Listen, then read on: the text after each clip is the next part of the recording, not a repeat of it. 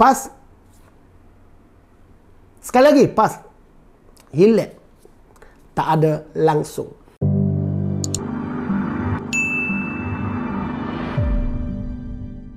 Video Amor kali ini disponsor oleh Creambat. Jadi kepada siapa-siapa yang nak rasa coklat ataupun biskut besar coklat, bolehlah hubungi nombor yang akan ada di skrin ini. Dan Amor ucap terima kasih kepada Creambat kerana sponsor video Amor.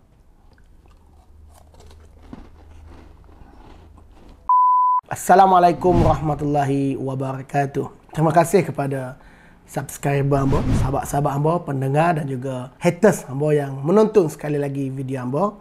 Kepada yang baru masuk ke channel Ambo ni, Ambo Jeming Hasan, YouTuber rakyat. Jadi uh, video-video yang Ambo buat lah video berkenaan dengan politik dan isu-isu semasa. Jadi pada uh, minggu lepas, Ambo telah pergi ke Sabah sempena pilihan raya negeri Sabah. Jadi uh, saya berjumpa dengan sahabat daripada Parti Warisan, Ketua Wirawati Putatan. Jadi dalam uh, saya buat video dengan dia lah. So dalam video tu dia beritahu bahawa amanah ini anak PAS. Okey, amanah ni anak PAS. Itulah yang dia kata. Bukan apa kata, dia yang kata. Jadi tapi hamba buat tajuk di video tersebut. Dia sungguh mengejutkan kerana mendapat liputan yang kuat daripada PAS. Uh, dan yang lebih membanggakan diri hamba, hamba bangga dan hamba ucap terima kasih kepada wartawan yang tanya kepada Tok Guru Haji Adi Awang, dia respon kepada video hamba. Jadi terima kasih kepada Ayah Cik yang kita kasihi. Dan ayah cik dengan tak semena-mena bila wartawan tanya apa komen uh, tuan guru uh, mengatakan amanah ni anak PAS. Sebelum ni kita dengar daripada pimpinan yang lain tak mengaku. Jadi amanah ni bukan anak PAS, tak ada hubungan. Ha, jadi nampaknya dia lain ayah cik kita. Dia kata amanah ni ataupun dia menggunakan perkataan PAN ni anak derhaka. jadi kita dengar dulu lah. Kita dengar video uh, ayah cik kita uh, baru kemarin. Kemarin, kemarin dulu video ayah cik bila ditanya oleh wartawan apa uh, respon ayah cik uh, bila di, dikaitkan amanah ni anak kepada PAS. Tapi mereka masih naik. Oh. Anak durhaka.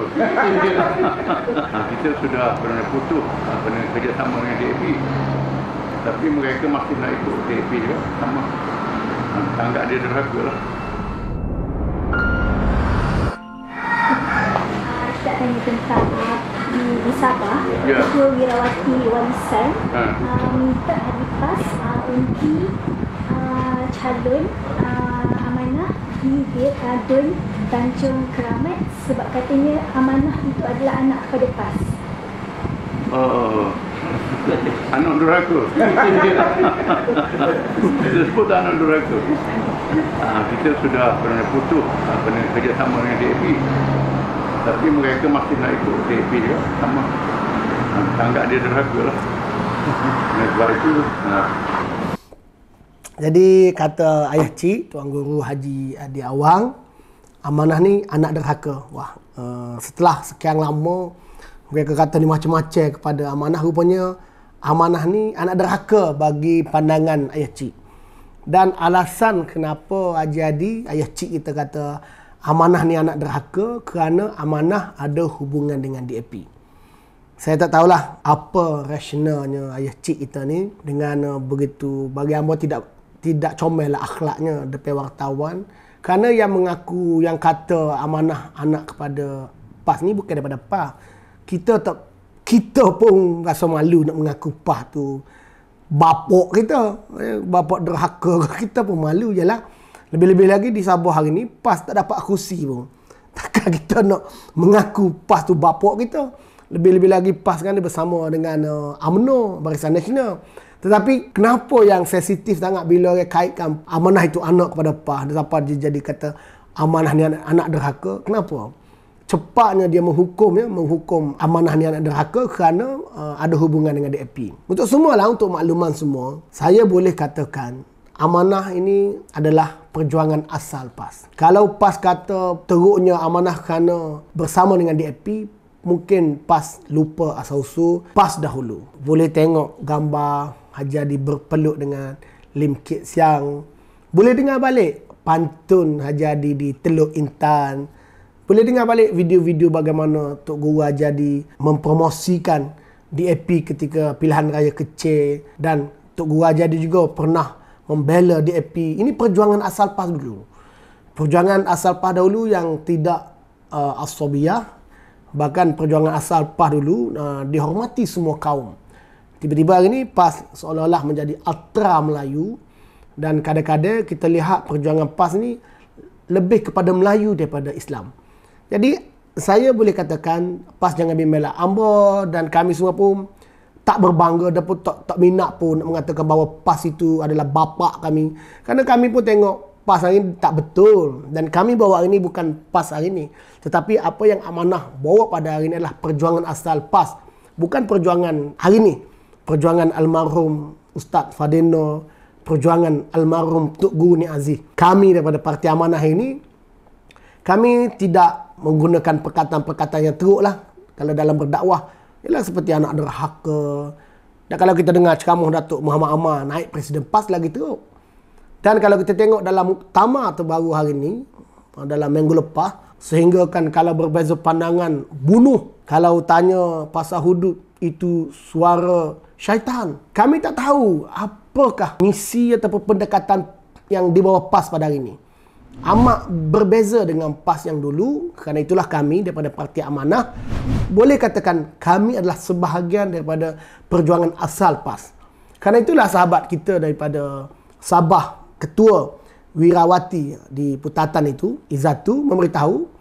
Jadi penyokong-penyokong PAS di Sabah yang keliru nak undi siapa, bolehlah undi calon parti amanah. Kerana dia lihat amanah ni seperti anak PAH. Kerana amanah lah yang memperjuangkan Islam seperti PAS. Caranya beza. Tetapi nampaknya PAS sudah tidak uh, ada pulang untuk berdakwah di Sabah. Dan uh, lebih malang lagi, hasil daripada gabungan yang diberi nama Perikatan Nasional, PAS terpaksa berkorban di mana MCA, kalau di Semenanjung ini hanya ada dua kursi, PAS ada 18 kursi parlimen, tetapi di Sabah diberikan empat kerusi kepada MCA. PAS sekali lagi PAS hilang. Tak ada langsung. Kenapa mungkin uh, Perikatan Nasional, Barisan Nasional dan parti-parti di Sabah menganggap PAS adalah parti dakwah yang teruk. PAS adalah parti yang akan menjadi liability kalau masuk bertanding di Sabah. Jadi penyokong ataupun ahli-ahli PAS di Sabah nak undi siapa? Boleh semak kehadiran ada atau tidak Tok Guru jadi turun ke Sabah. Tak ada. Dia sendiri pun tak sanggup nak turun ke Sabah. Di arahnya timbalan presiden. Itu pun selepas tengok mungkinlah selepas tengok video Ambo bersama dengan Izzatu bila merayu kepada PAS untuk mengundi calon daripada Parti Amanah menggunakan logo warisan oh, terus PAS pergi ke sana. Sebelum ni tak nak pergi. Sehingga kali ini saya di, di, difahamkan dan dalam video tersebut uh, Tok Guru jadi kata dia tak sempat pergi ke Sabah sampai macam tu sekali nak pergi pun tak sempat jadi pengundi-pengundi di Sabah kalau kita kira tak pernah sekali pun penyokong-penyokong PAS ni tidak berpeluang untuk memangkah. Walaupun hilang di posisi apa, akan tetap mengundi PAS. Tapi hari ini nampaknya hasil daripada politik bacaan ataupun teropong ajaib Tuk Jadi ini menyebabkan di Sabah tidak ada kursi. Jadi Amo yakin di Semenanjung, di Kelantan, di Terengganu, di Terengganu dah maklum pengurusi perhubungan AMNO uh, Datuk Mas uh, Datuk Masaid dah beritahu dia takkan kompromi dengan PAS di Terengganu. Di Kelantan Alhamdulillah nampaknya pengurusi UMNO Kelantan agak berlembut. Mungkin kerana bos dia adalah uh, menteri yang popular ini, menteri industri utama. Yang ini komoditi, sawit dan juga industri. Di mana pengurusi perhubungan UMNO ni dia tak silap duduk pengurusi bahagian sawit. Mungkin kerana itu dia agak berlembut di Kelantan. Mungkinlah berbeza di Terengganu. Hari inilah dia berlembut kerana bos dia adalah menteri. Jadi adik Kelantan ni itu pun Ambo rasa kalau masuk pilihan raya, Ambo yakinlah susah untuk AMNO nak bagi PAS bertanding di Kota Baru. AMNO nak bagi PAS mudah-mudah bertanding di Gua Muse, di Jeli, di Kuala Krai, di Ketereh.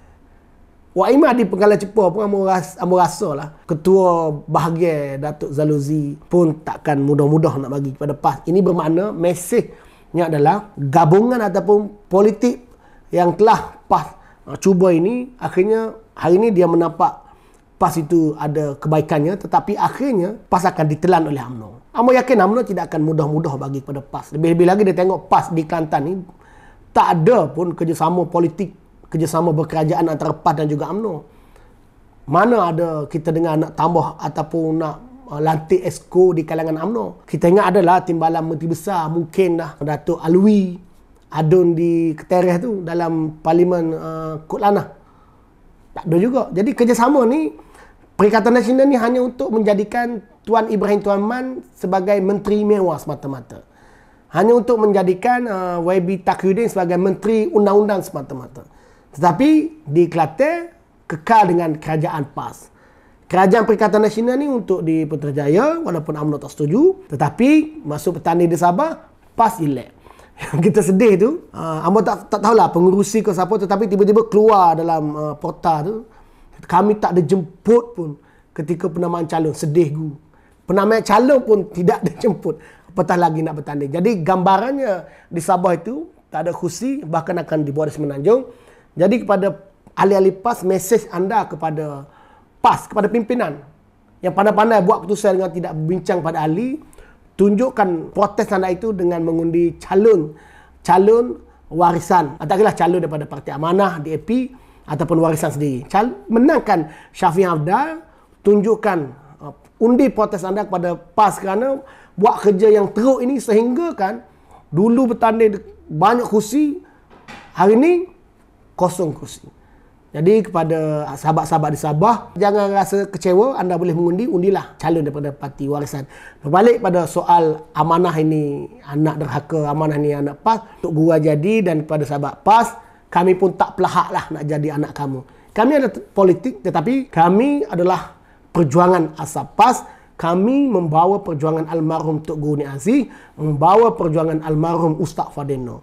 Jadi kalau PAS nak menafikan kerjasama mengatakan bahawa amanah ini anak derhaka kerana bersama dengan DAP, mungkin PAS boleh bagi jawapan bagaimana kerjasama PAS dengan DAP dulu. Dan bagaimana pula dengan kerjasama PAS dengan MCA hari ini.